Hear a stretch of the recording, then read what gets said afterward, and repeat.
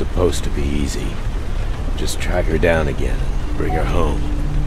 I had no idea how wrong I was, and how far I would really have to go.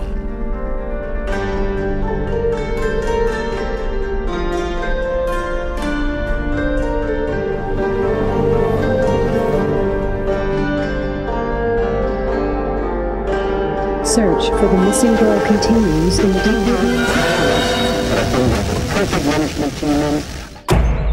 Please, tell me that she's safe. Your hysterics aren't helping. Stop calling me.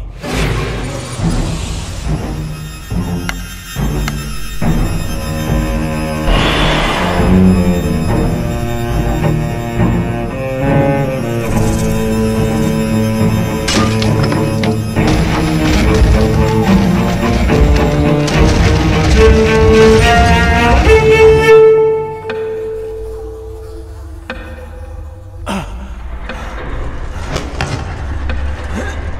Uh, uh.